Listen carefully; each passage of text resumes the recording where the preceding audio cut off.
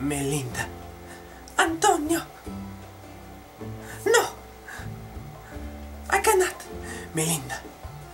Just let me rub my body against yours. Yes, it will be rough, but it will be great.